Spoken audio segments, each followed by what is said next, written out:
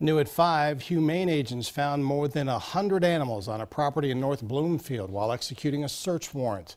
Agents with the Animal Welfare League, along with Division of Wildlife officers, were on the scene at the home on Durst Colebrook Road. They found a number of different animals, including geese, sheep, goats, miniature ponies, some reptiles, even a prairie dog. Agents say they received a complaint about the property and the conditions of the animals.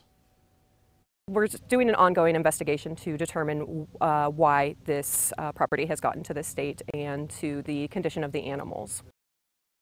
Some of the animals have been seized from that property. No one's been charged in connection to this case, but agents confirm a man living at the house was taken into custody.